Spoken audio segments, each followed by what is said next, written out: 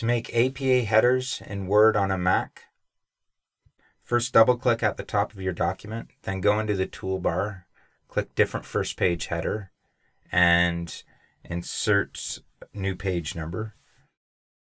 Make sure it's aligned to the right and press OK. Then go to the Home tab, put your cursor back into the document and type running head, colon, and then the title of your document, all caps. Then select the page number, highlight that, and make sure that also is Times New Roman 12 point. Then click outside of the header and insert page break.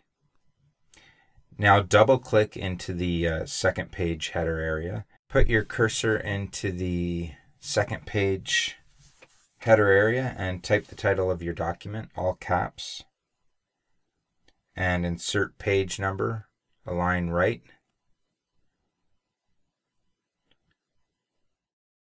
Make sure everything's still Times New Roman 12 point.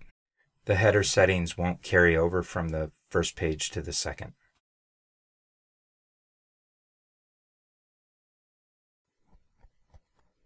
Now I'll insert a few more pages.